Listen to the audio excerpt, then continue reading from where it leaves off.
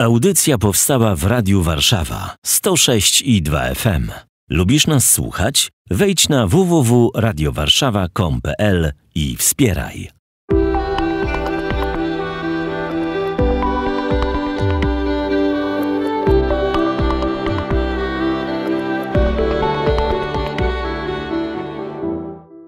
Z Ewangelii świętego Marka.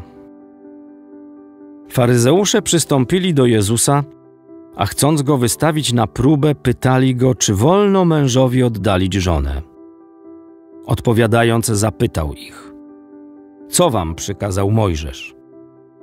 Oni rzekli: Mojżesz pozwolił napisać list rozwodowy i oddalić.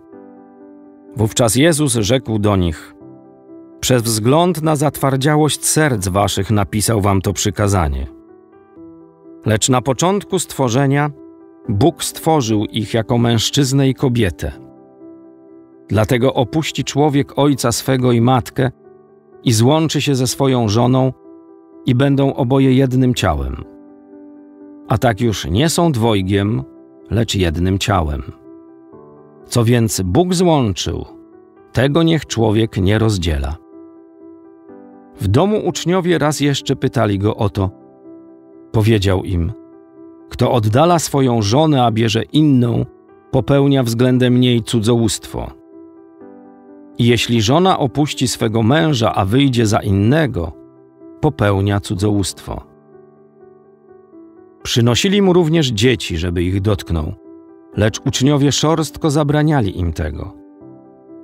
A Jezus, widząc to, oburzył się i rzekł do nich: Pozwólcie dzieciom przychodzić do mnie, nie przeszkadzajcie im.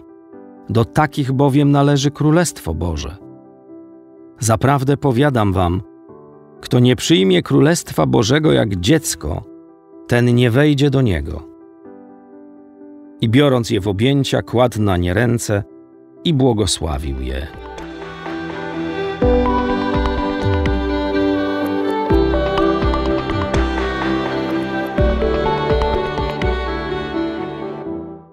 Jezus, odpowiadając na pytanie faryzeuszy, najpierw zwraca uwagę na to, czym w ogóle jest małżeństwo.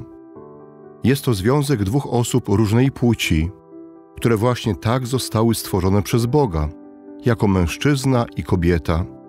Te dwie osoby, łącząc się w małżeńskim związku, mają stanowić jedno ciało.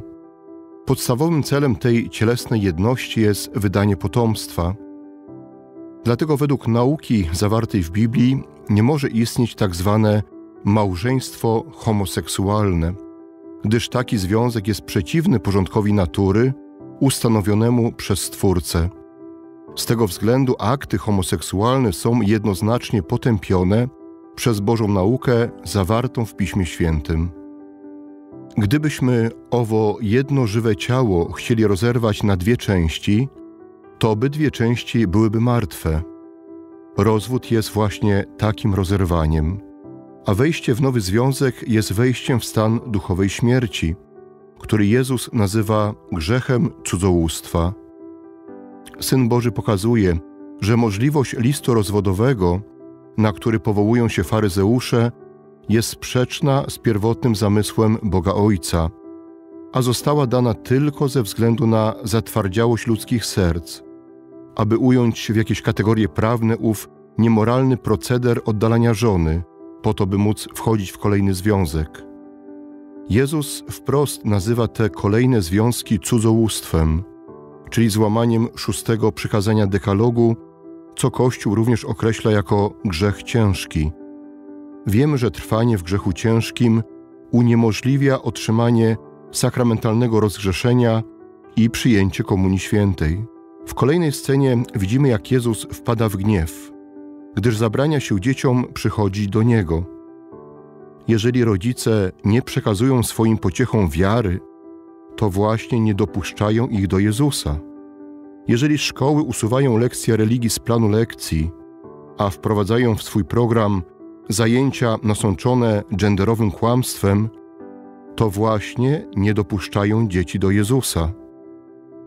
Niech więc wszyscy, którzy to czynią, pamiętają, że ciąży nad nimi gniew Syna Bożego.